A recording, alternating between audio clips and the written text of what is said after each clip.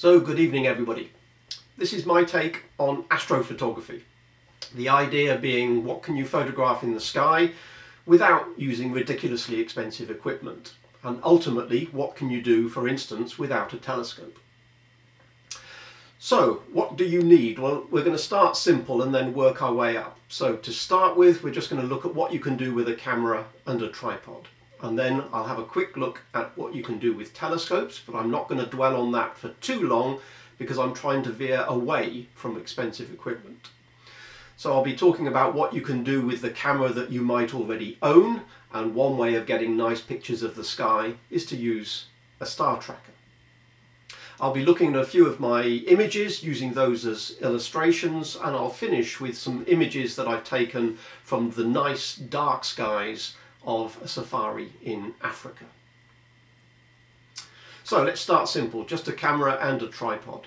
So this is possibly where I started many, many years ago with slide emulsion film, taking a picture from not far from the uh, city of Petra. I was out in the desert and decided to try and take a picture of the sky something of order a five minute exposure and the stars have just started to trail and right in the center of the image there you can see Polaris and you can see very short star trails due to the Earth's rotation. But with digital photography, rather than taking a long exposure of many minutes or possibly many hours, with digital photography we now have the option of not exposing for a very long time, but taking a series of short exposures. For instance, this was a series of 60 second exposures and I took a number of them over a few hours and then software allows you to stitch them all together. There's free software that can do that for you if you're not particularly computer savvy. There are applications that will basically take all of your images and produce star trails. The advantages of taking a lot of short exposures and adding them together is that if one of the images is spoilt by perhaps a passing aircraft or something else like that, then that can be eliminated from the set. It also means that you can actually put them together into a movie rather than actually make a static image of a star trail. You can actually make a movie of the stars rotating around the pole. In this particular case, this was taken from the Canary Islands, so Polaris is relatively low on the horizon. There it is just above one of the observatories of uh, taken at Teide Observatory on Tenerife. The sky is quite blue rather than black, not because it's not a clear sky, but because there's a full moon there, uh, effectively over our left shoulder. There's a full moon which is producing a little bit of blue in the sky, and it's also illuminating the green grass in front of us and illuminating the white domed buildings as well. So star trails, very easy. Essentially all you need is a camera and somewhere firm to put it, ideally a tripod, but even that isn't strictly necessary. And you just need to have some way of being able to take a series of relatively short exposures, perhaps 30 seconds, perhaps a minute or so. There are other images that can be taken without the need to worry about the rotation of the Earth and hence the motion of the sky. For instance, Comet Holmes visited us some, what was it, 15 or so years ago, and Comet Holmes was large enough that, again, you don't need a telescope, just a telephoto lens on a camera was enough, and because it was a relatively bright comet, exposure could be relatively short, in this case about 30 seconds or so, and so again, this is a static picture, a static camera on a static tripod, and we don't have to worry too much about the stars trailing over a relatively short uh, period of time. So providing the object is bright, then we can get some nice images without worrying about equatorial mounts and tracking the stars. Other pictures we can take that uh, produce nice aesthetic images are, for instance, if you're in the right place at the right time, uh, which usually means going a little bit further north than uh, the United Kingdom. If you go far enough north, you're likely to pick up the northern lights. In this particular case, this was from Iceland. And again, this was in the pre-digital days.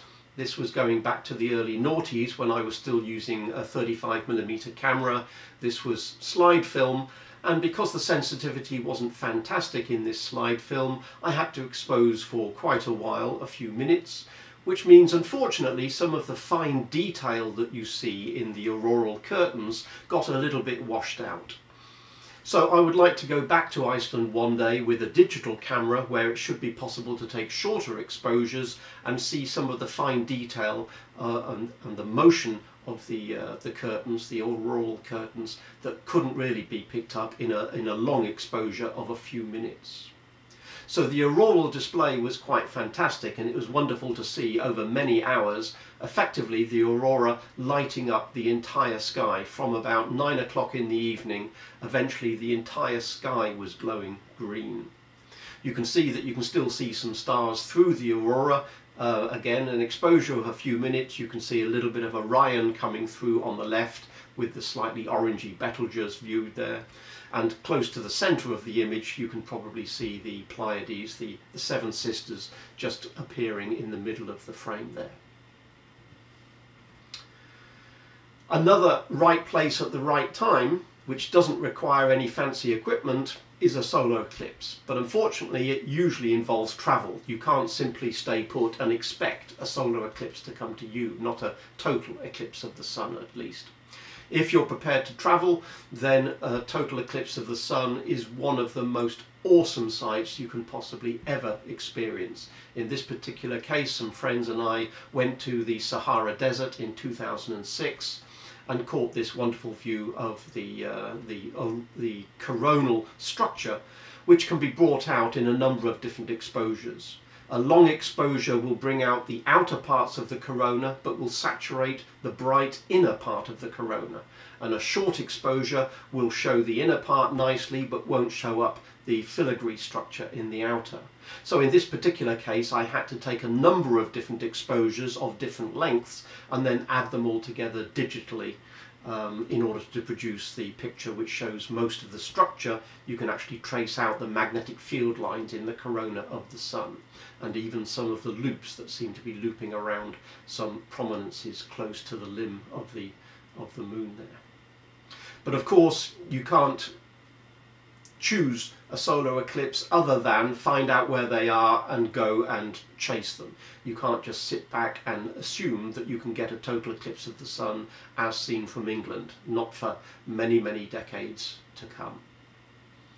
But when they do occur, you don't need fancy equipment, just a camera with a telephoto lens on a static tripod is all you really need. So let's have a think and go beyond just a camera on a tripod, even though that can produce some wonderful images. Let's have a look at some slightly more expensive equipment before moving back to cheaper stuff. So if your budget stretches to it, you can keep an eye on eBay because sooner or later the Hubble is going to come to the end of its life. It's been doing wonderful work for the last 30 or so years, but it's not going to last forever. So if you want to put in a bid, keep an eye on eBay, you never know. If you've got a few billion dollars to spare, then you can get wonderful images, such as I'm sure you've seen these sorts of images over the last 30 years or so. Fantastic resolution because the Hubble Space Telescope, of course, is above the Earth's atmosphere. If you don't stretch to a few billion dollars and you only have a few hundred million, well, why not buy yourself a 747 with a telescope in the back? Still relatively expensive for most of us, but it's the same idea, get above most of the atmosphere. In this case, not above all of it, but for this particular case, for infrared astronomy, if you can fly high enough, you can get above most of the uh, Earth's atmosphere and still get some wonderful images. But that's still a little bit on the pricey side, given that we're supposed to be talking about inexpensive ways of doing astrophotography. For a few million pounds you can buy yourself a robotic telescope like the Liverpool telescope which is sitting on the island of La Palma which gives some wonderful images. But bear in mind you don't have to buy a telescope like this, you can simply use one. There are various robotic telescopes around the world which have access either for astronomical societies or educational purposes or for any individuals a small fee would be charged to take images on telescopes around the world. For a lot of amateurs, they might choose to buy themselves a telescope in the range of a few hundred to many, many thousands of pounds. And some people delight in the idea of buying themselves a telescope That's what it might look like when it comes out of the box on the left hand side, but sooner or later people are going to add technology onto it and it will soon become a spaghetti of technology where they've added cameras and heaters and other gadgets and some people don't stop until the entire telescope is absolutely covered with technology. So if that's your bag, if that's what you like to do, if you like technological solutions, that's definitely a way to go. And when it comes to astrophotography, many people will tell you that what's really important is to get the most stable mount you can possibly get. If the mount is absolutely stable, then you can put a big telescope or camera system on that and track the sky reliably.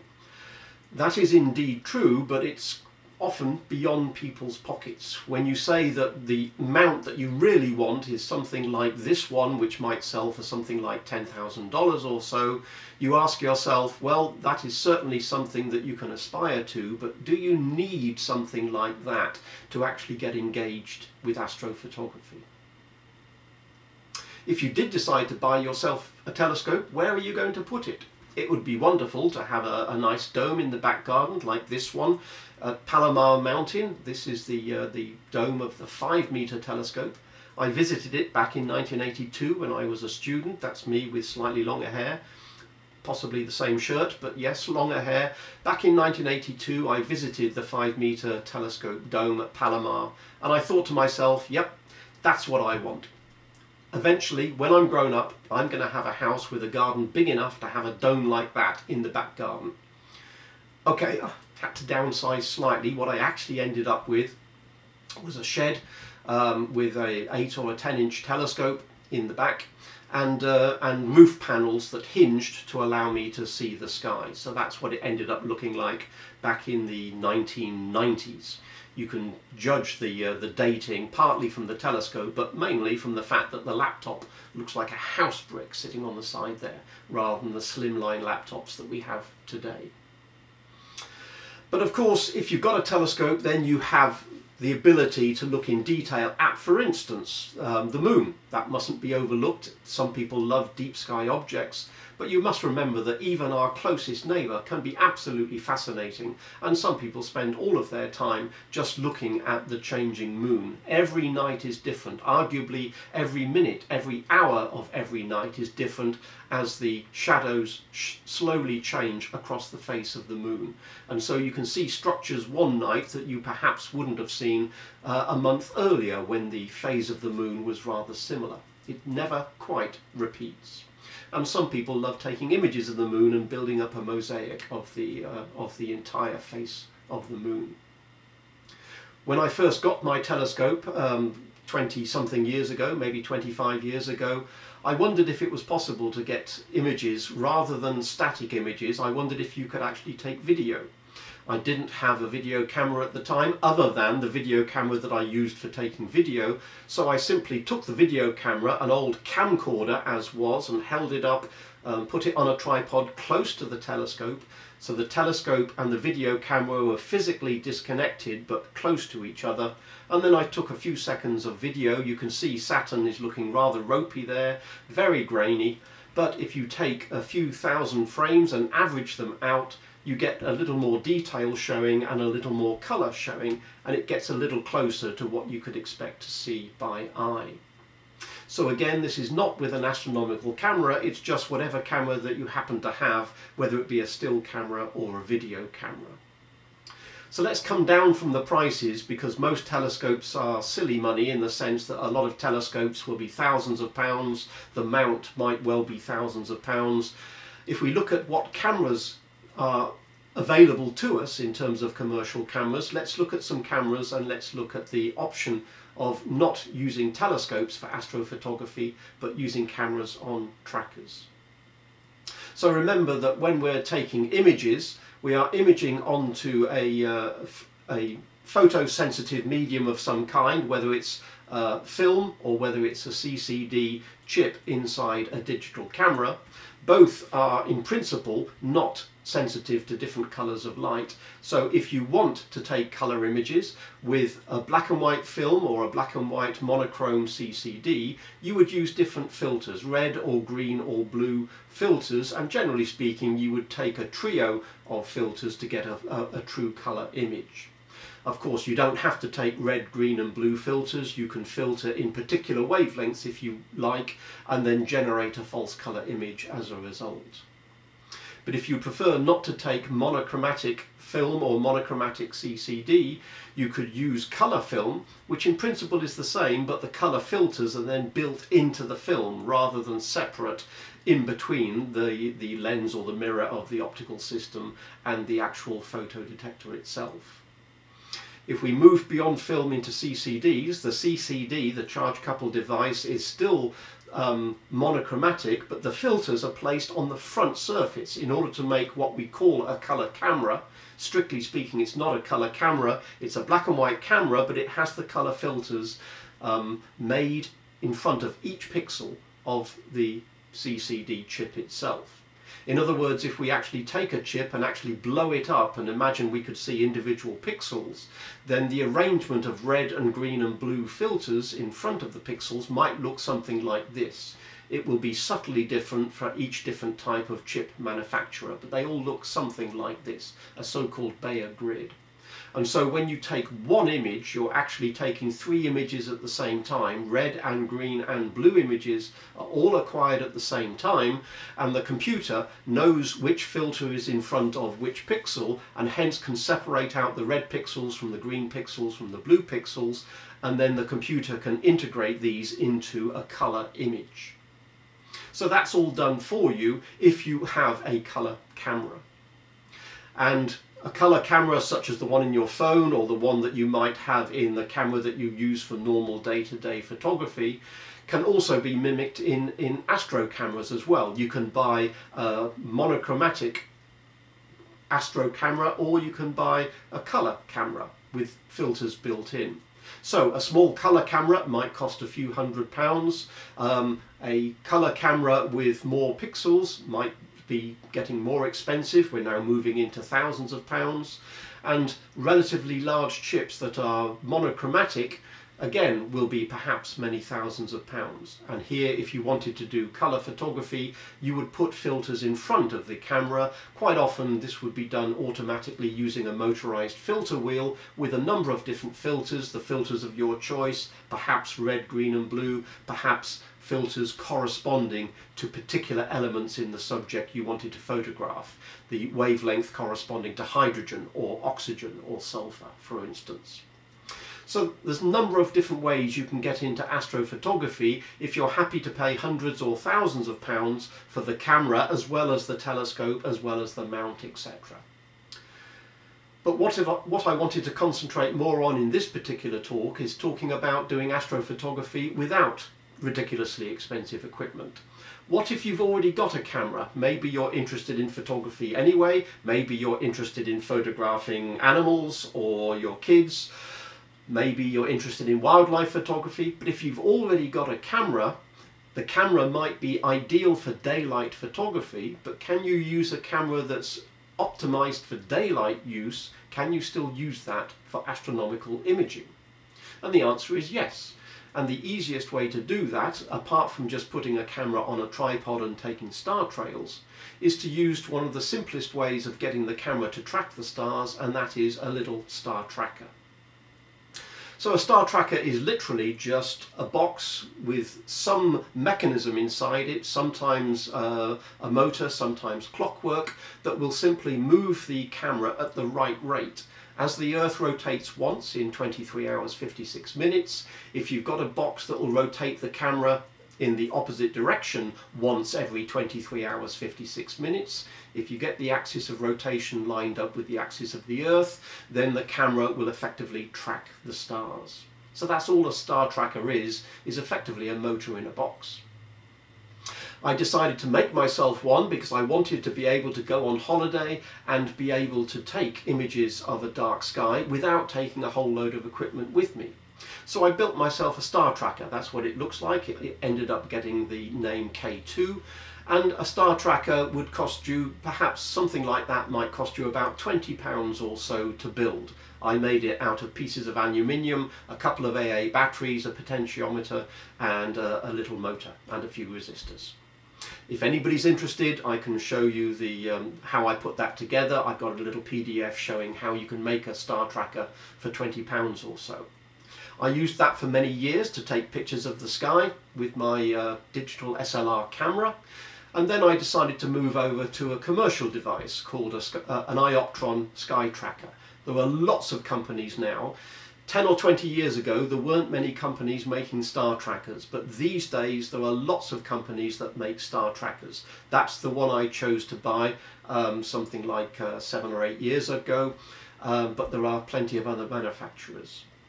The advantage of this particular one I found at the time was simply that it was relatively small. In other words, there's the tracker inside its case. It's relatively small, it's easy just to throw into your luggage, and so you can take it anywhere when you go nice and easily or when you go on holiday.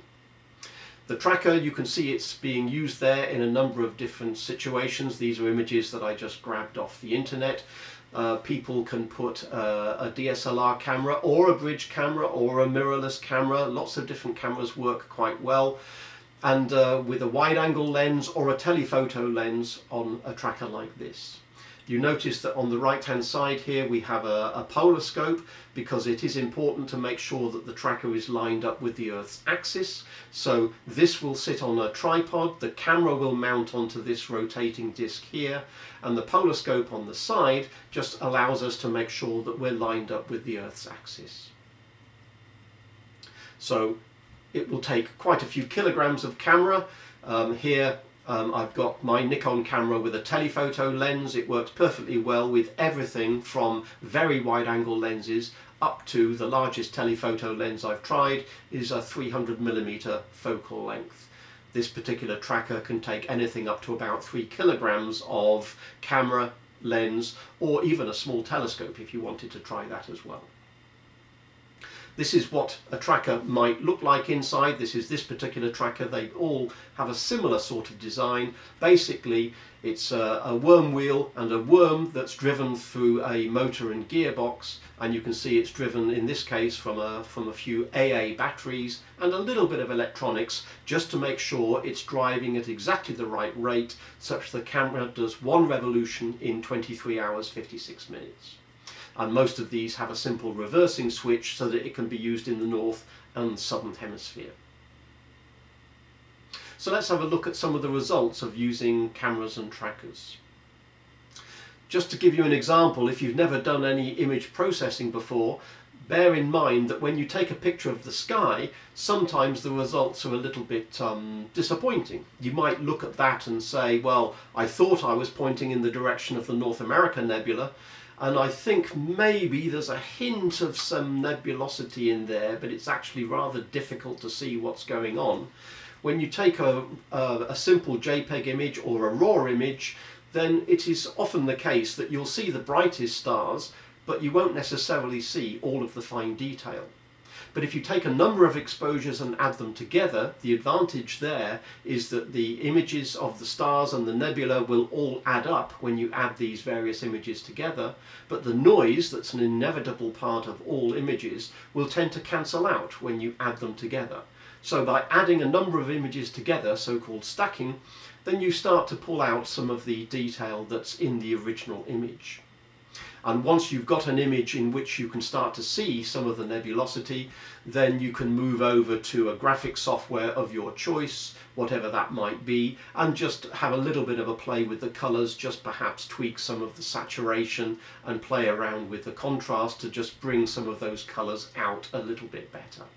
So now you can see why this particular nebula is called the North American Nebula from the shape that we see here. And you can see that some of the nebulosity that was just visible in the original raw image is the, uh, the, the, the, wall that we can see here at the, uh, the Mexico end of the North American Nebula. So bear that in mind. If you go out and snap the sky. Don't expect to get fantastic images on the back of your camera. Sometimes you do have to stack a few images together and play around with the, the light levels and the contrast settings before you bring out some of the subtle detail that's in the images that you've captured. But these are images taken from a star party. Do you remember the days before the pandemic when we could go onto star parties? So this was taken in September 2019 where I had a camera and a telephoto lens on a star tracker and tried taking a pictures, a few pictures that particular night. And you can see that you have a number of objects that, uh, that you can capture without the need for a telescope. You can get obviously star clusters, you can get some of the larger galaxies like Andromeda. And here in the top right we have the Veil Nebula, a supernova remnant.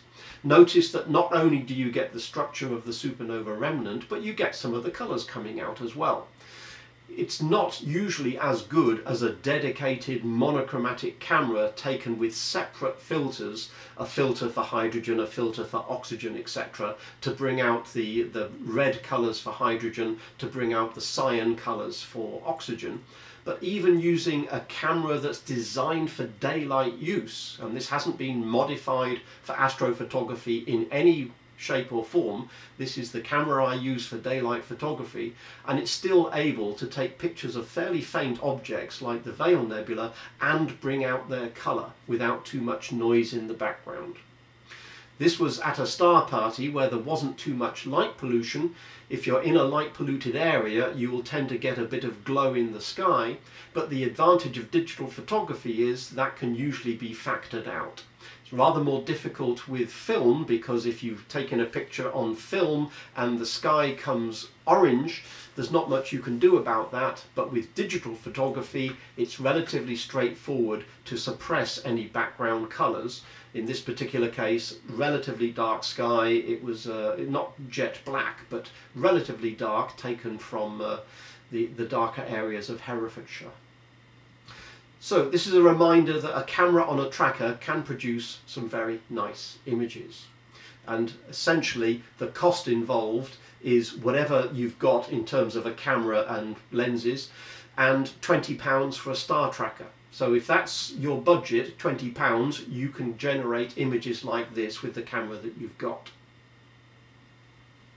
This is a rather older image, it doesn't look quite as good, but this is a picture of the Helix Nebula I took uh, many years ago.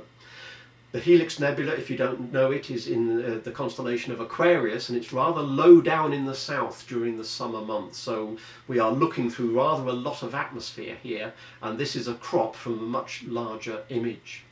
But I show it simply because I was pleased to find that the structure of the nebula, this is a planetary nebula, so we're looking at the atmosphere of a star that's been blown away in much the way that the, the sun, when it comes to the end of its life, is going to expand into a red giant and then the outer part of the red giant is going to be blown away the central core of the sun will become a white dwarf and the outer atmosphere will be blown away and form a planetary nebula much like this particular object here.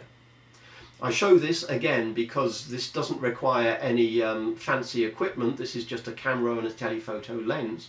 And I'm not claiming it is anything like as good as the Hubble equivalent image which you can see on the right hand side here.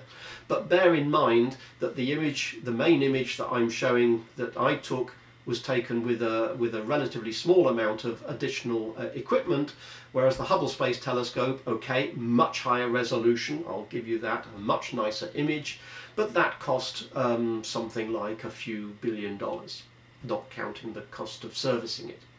So if you've seen images that you like, even if they're Hubble images, that doesn't mean you can't take images of those same objects that Hubble has imaged. They won't be as good, but you can take them for yourself with relatively inexpensive hardware. That's the take-home message.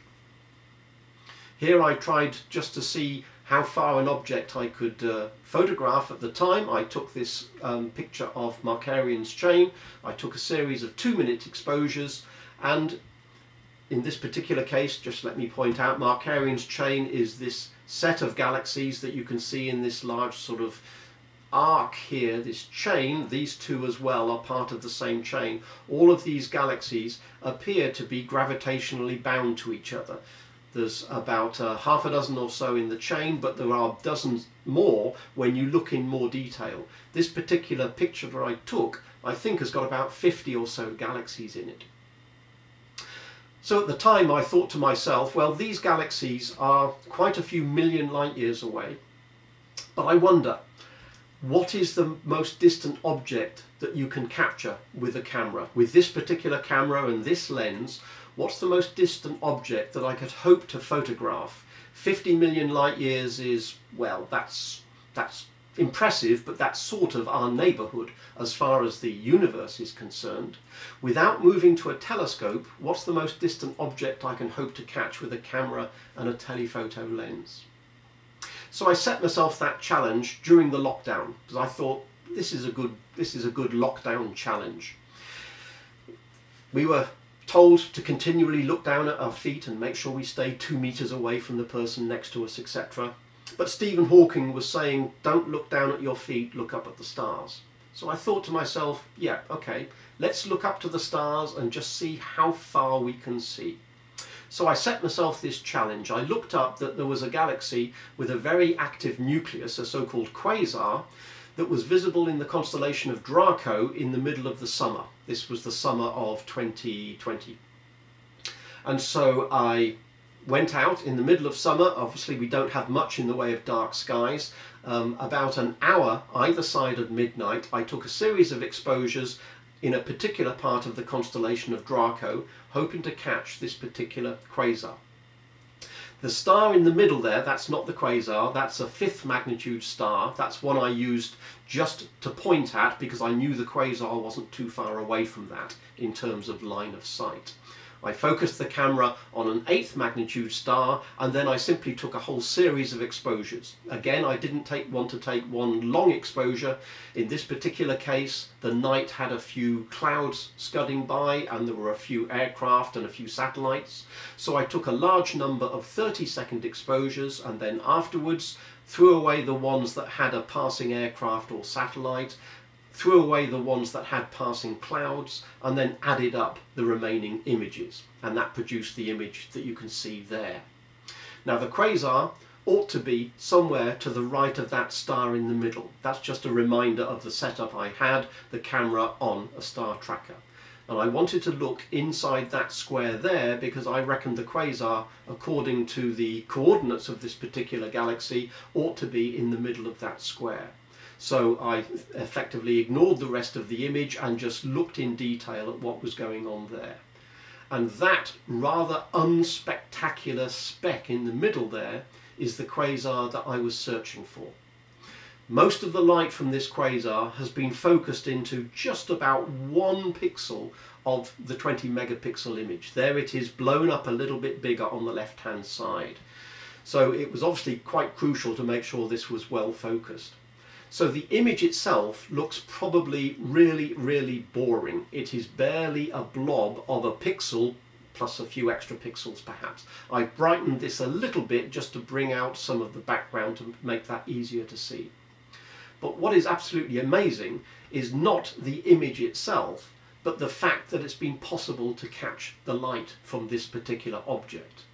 Because this camera and telephoto lens have caught the light that has been travelling for 90% of the age of the universe. The look back time, how far back in time am I looking, is approximately 12.4 billion light year, uh, billion years. If you think of the Hubble Deep Field, when the Hubble takes a very deep image, it's looking back in time about 13 billion years. This image is looking back in time 12.4 billion years. The object that I've photographed here is approximately 25 billion light years away. The galaxies we saw just a moment ago were tens of millions of light years away. This object is now tens of billions of light years away. And because of the expansion of the universe, because it is so distant, it's effectively on the other side of the observable universe. Because the universe is expanding, this object is actually receding from us at about twice the speed of light. And despite this enormous distance, despite the fact that it's receding at twice the speed of light, despite the fact that the light has taken most of the age of the universe to reach us, it's still possible to photograph it using a camera and telephoto lens. The star tracker just made that possible by making sure the camera was pointing in roughly the right direction for the two hours or so that I was taking these images. So not aesthetically very pleasing as an image, but in terms of what you can do with a camera that's designed to take daylight images, I think that is absolutely phenomenal. And it was a very interesting lockdown challenge for me. Let's look at the last section here where I show you what you can do if you get the darkest of skies. So I'm interested in astronomy and photography, as most of us I guess are, so the red circle and the, and the blue circle here, and of course astronomy and photography will overlap. You might be interested in visual astronomy, you might be interested in photography, but of course the overlap is astrophotography. But I'm also interested in taking pictures of animals, observing animals with binoculars and photographing animals. So you can see there's this sort of triad of interest. And that's why, with friends who have similar interest, I have been on safari. Because on safari, you can take, you can watch and take images of animals by day, and you can watch and take images of stars by night. Sleep when you get home. Don't waste your time in Africa sleeping when you could be either taking pictures of animals or taking pictures of the sky. So I took this tracker with me. Again, that's one reason I bought a tracker is because if you're going to remote places, it's a lot easier just to throw this into your luggage than it is to think about taking an equatorial mount and even a small telescope. So the camera I was taking anyway because I wanted the camera to take pictures of zebras and lions and everything else. But I wanted to use that same camera on this tracker to take images of the night sky. Now to make sure it's aligned in the UK, that's dead easy. All you do is get the relevant app on your phone that tells you, because the app knows from GPS where you are and it knows accurately the time, it can tell you if you're at this location on the Earth, at this longitude and latitude, and the current time is this, then Polaris ought to be in this position. In other words, if you're looking through the polar scope, if the North Celestial Pole is the centre of the crosshairs. If you are looking correctly at the North Celestial Pole, then Polaris, which is slightly off the pole, ought to appear at this particular location in the reticle that you're looking through. It gives you a little dot telling you where Polaris is. So in other words, if you're in the UK, you simply set this on your tripod and adjust the tripod until Polaris is in that position there, then you know you're lined up accurately with the North Celestial Pole. That's actually very straightforward in the UK and just takes a few seconds or so. But bear in mind that if you are going to go on holiday, there's the North Celestial Pole, which of course is directly above the North Pole of the Earth. If we're at latitudes such as the UK, then at 50 or so degrees north, Polaris is some 50 or so degrees above the horizon, very easy to align on. But if you're going to Kenya or Tanzania, which are in East Africa, essentially on the equator, then Polaris is either very close or actually on the horizon and is going to be hidden behind hills or elephants or something else. And it doesn't help that the South Pole is the same, even though in principle you could line up on the South Pole, the North Pole is on one horizon and the South Pole is on the other horizon. So you, if you want to do polar alignment, you can't rely on seeing where Polaris is or seeing where Sigma Octans is. You have to come up with more creative ways of aligning your equatorial mount or your star tracker. I'm not going to go into details, but if anybody's interested, I'm happy to answer questions in the Q&A afterwards. I tried taking a picture of the Large Magellanic Cloud wasn't entirely successful because the large and small Magellanic Clouds are actually quite close to the South Pole. So on the equator, they never get very far from the South Pole and therefore they ne never get very far from the horizon. So again, we're looking through quite a bit of atmosphere when we're trying to catch the Magellanic Clouds. But I did want to catch a swathe of the Milky Way, so I, I made a mosaic in this case I was using a 35mm lens and I took a series of one minute exposures and then made a mosaic of a particular patch of Milky Way that we can't see from the UK. we can see the northern part of the Milky Way down to approximately the centre of the galaxy, but we can't see any further than that, and this is the region further than the centre of the galaxy. So over on the left hand side here we have Alpha and Beta Centauri, and as we move across there we get the Southern Cross, uh, Southern Cross the constellation of Crux, uh, a little cluster there, the Jewel Box cluster, and the large dark nebula, the Coal Sack, sitting right next to Crux. And if we go further across, we get to the uh, rather spectacular nebula of uh, Eta Carina or Eta Carinae. This is a very unstable star that seems to be shedding a lot of its material, a lot of its outer atmosphere, and is a good candidate for one of the stars that could go supernova before too long. It appears to be a, a rather unstable phase of its existence. In order to try and give you just a taste of what it's like to see the Milky Way out in Africa, this is my attempt. This is uh, the Milky Way uh, as you might see it with your naked eye as seen from England. You can see certain patches of the Milky Way, you can see certain areas of brightness, and you get a hint of the, some of the structure that's in there. But the Milky Way as seen from Africa shows an enormous amount of detail just with the naked eye.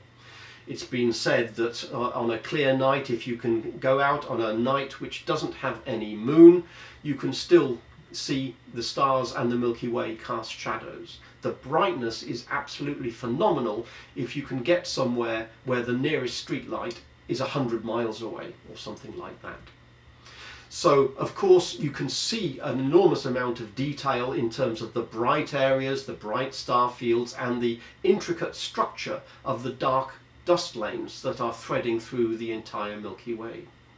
But of course, with astrophotography, you then have the advantage of putting colour into the equation and then seeing what's going on there. So you can see that this was a mosaic of a few images taken with a 35 millimeter wide angle lens.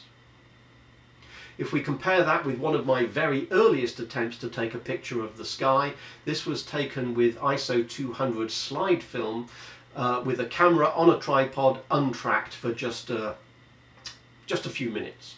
So each of the stars has moved a little bit, but the point here is that we can see the brightest stars, and perhaps you can make out easily the bright stars of Scorpius here, and the bright stars of the teapot of Sagittarius over here, but you can only just make out a hint of the Milky Way. And that's the result of using slide film and an exposure of just a few minutes. But if you think about the Milky Way, now we have an enormous amount of detail in the Milky Way taken with a two set of two minute exposures. And there is so much detail in an image like that, it's sometimes difficult to see where the stars are. So although the bright stars show up nicely when there's only bright stars visible, for the equivalent on the right hand side, we virtually have to join the dots to realize that that's where Scorpius is. It's there, but there were so many fainter stars in addition to the bright Antares and Rho Ophiuchus and all the other clusters that we can see in there. Because there's so much of the fainter part of the Milky Way showing up, it's sometimes so confusing you can barely make out even the brighter constellations. If we just have a look at part of that image, we realize that as well as seeing uh, Antares and the rest of Scorpius, we have another couple of interlopers in here. We have the very bright Jupiter, which is so bright it's almost like light pollution when you're looking at an image like this. And we also have uh, Saturn. These images were taken in uh, 2019 when Jupiter and Saturn were not that far apart and relatively close to the centre of the galaxy. But when taking an image like this, again, there's a huge amount of detail because it doesn't take long before you realize that you've got a huge number of nebulae and star clusters. And if you're taking images with a 35 millimeter lens with a reasonable number of megapixels, you can see detail in all of these objects. I'm just going to label some of them with their Messier numbers. I'm not even going to attempt to put the NGC numbers in as well because there are just far too many of them it looks like all the interesting clusters come to an end at some point and implying that there were the no interesting clusters or nebulae beyond that point. But of course there are. It's just that Messier couldn't see that far south when he did his observing from France, and so the Messier numbers run out, even though the interesting objects continue onward. But having taken a wide angle of this chunk of sky and getting a beautiful image of the Milky Way and all of its interesting, delicate dust lane structures, I did wonder whether or not it was worth changing from a wide angle lens to a telephoto just to get a little more information out of some nebulae. So I thought, well, we've got the Lagoon Nebula and the Trifid Nebula there, so why not swap the wide angle lens for a telephoto lens and try uh, a few images. On this particular night I didn't have that long, so I tried just a single image, a single 30 second image, and that's what you get from the Lagoon Nebula and the Trifid Nebula in a single 30 second exposure with a telephoto lens on the, on the star tracker. And I was quite pleased with that given that it was just a single, uh, excuse me, just a single image, but I thought, isn't it nice that the colours do actually come out? If we look at the Trifid Nebula there, you realise that the pinks and the blues, as well as the actual trefoil nature of the Trifid itself, the pinks and the blues do actually come out. And again, a camera designed for daylight photography is capable of picking up colours in astronomical objects. So there's the take-home message. If you want to do astrophotography, and if you want to do it from a dark sky site and you don't want to have to take large, heavy, expensive equipment with you, bear in mind one option is just to pick up a star tracker, build one yourself for 20 quid, or buy yourself a star tracker and whenever you're going anywhere where there's dark skies, you can take beautiful images without spending the earth. Thank you all for listening.